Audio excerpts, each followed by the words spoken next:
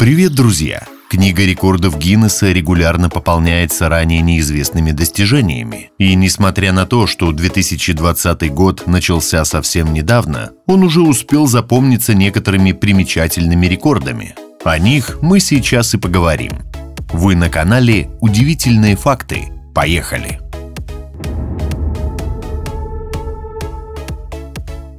Как сообщается на сайте книги рекордов, жители Японии по имени Титецу Ватанабе признали самым старым из ныне живущих мужчин. Заключение исследовательской группы геронтологии говорит о том, что на момент получения титула Ватанабе было 112 лет и 334 дня.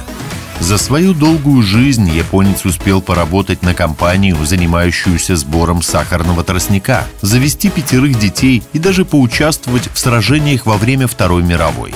На пенсию мужчина вышел в 1974 году. Вместе с сыном он построил загородный дом, где посвящал время своему хобби – выращиванию деревьев бонсай, которых у Титецу было более ста.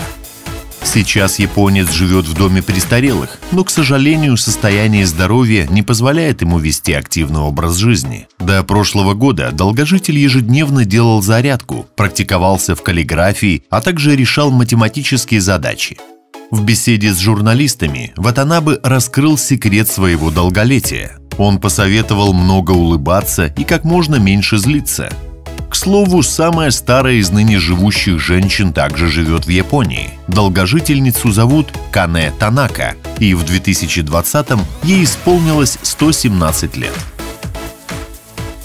В выполнении физического упражнения планка, при котором следует опираться на пол только при помощи предплечий и пальцев ног, способствует общему укреплению мышц тела.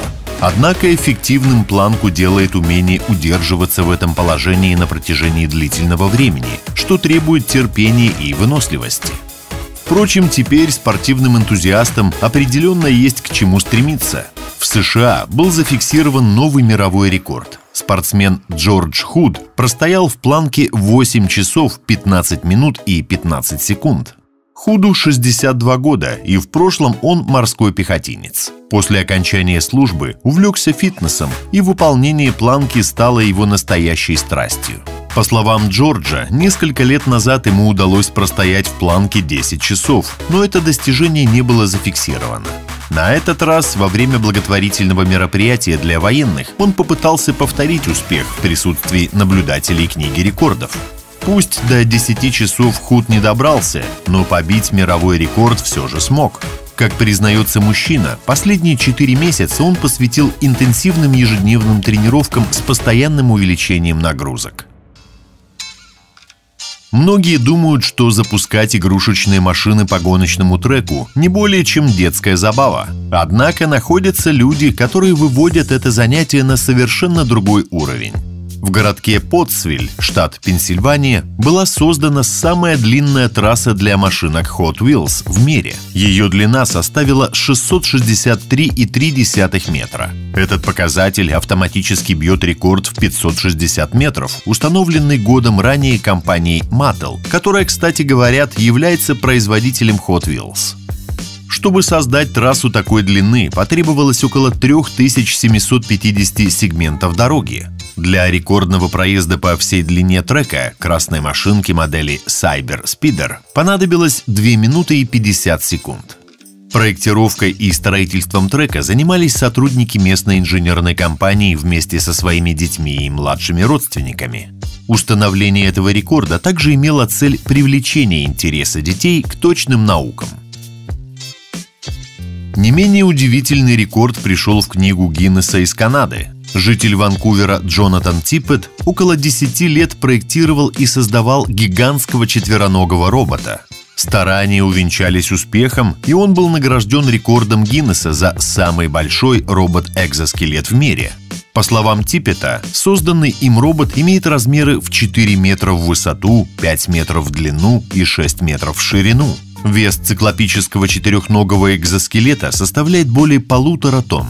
Как утверждает канадец, в центре механизма находится литий-ионная батарея емкостью в 96 кВт-час, изготовленная по индивидуальному заказу.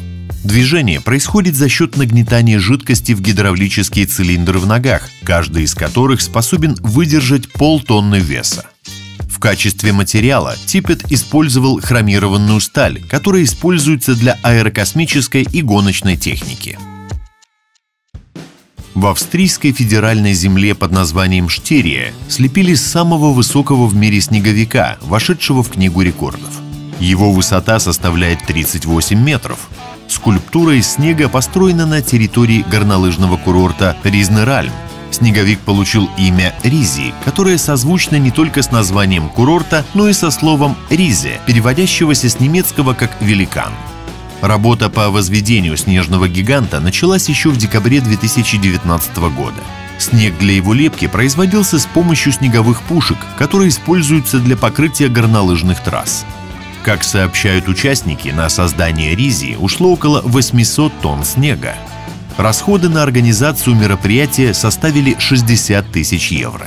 Ранее мировой рекорд удерживал снеговик, слепленный в американском штате Мэн в 2008 году. Его высота составляла 37,5 метров. Компания Mazdar City, занимающаяся инновационным городским развитием в Абу-Даби, побила рекорд Гиннесса, создав самую большую мозаику из перерабатываемых материалов. Мозаика имеет площадь в 1015 квадратных метров – Подобный масштаб эквивалентен двум баскетбольным площадкам или четырем теннисным кортам. Она была создана в течение месяца из 90 тысяч перерабатываемых материалов, включая пластиковые бутылки, жестяные банки и картон. Произведение искусства показывает историю развития Объединенных Арабских Эмиратов. Также на мозаике представлены ключевые достопримечательности всех семи Эмиратов – Инсталляция была представлена в преддверии недели устойчивого развития в Абу-Даби ежегодной выставки на тему возобновляемой энергии. Как сообщили представители компании «Маздар», целью создания мозаики было побудить жителей и туристов взять на себя больше ответственности за окружающую среду, а также вдохновить людей на сокращение отходов и их переработку. Этот мировой рекорд также был побит в Объединенных Арабских Эмиратах. Новогодний салют в Дубае занесли в Книгу рекордов Гиннесса как наиболее масштабный и продолжительный в мире. Шоу началось с пиротехнического обратного отсчета до наступления 2020 года прямо на знаменитом небоскребе Бурдж-Халифа. Сам же праздничный салют состоял из 450 тысяч фейерверков и длился 6 минут. Залпы производились из 400 точек, расположенных по всей береговой линии протяженностью в 100 километров.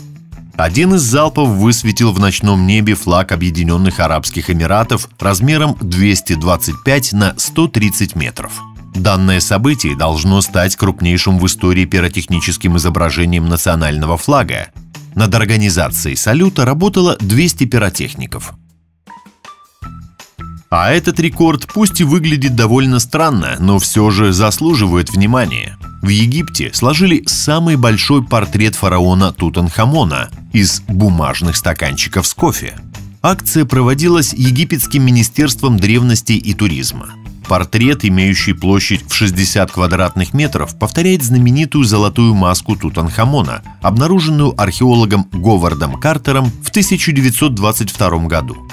На создание композиции ушло более 12 часов. Всего было использовано 7260 стаканчиков, 65 килограммов кофе, 1000 литров молока и 3000 литров воды.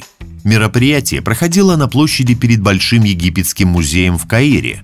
После того, как рекорд зафиксировали в книге Гиннесса, все стаканчики с кофе раздали участникам строительных работ – как сообщил представитель регистрационной комиссии книги рекордов Талал Амар, ни в коем случае нельзя было выливать кофе.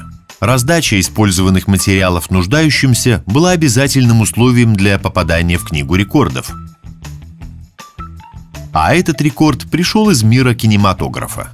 Фильм «Паразиты», триумфатор церемонии вручения премии «Оскар» в 2020 году, занял почетное место в книге рекордов Гиннесса – но чем же он так выделился? Как стало известно от представителей регистрационной комиссии, картина корейского режиссера По Чжун Хо стала первым фильмом в истории, который одержал победу как в номинации «Лучший фильм на иностранном языке» и в общей номинации как лучший фильм. В истории подобного ранее не случалось. Кинолента, повествующая о расслоении общества и классовом неравенстве, получила 4 статуэтки при шести номинациях. Кстати, а вы уже посмотрели этот фильм? Согласны ли вы с мнением Киноакадемии? Напишите об этом в комментариях. Также не забудьте подписаться на канал и поставить лайк этому видео. До скорой встречи!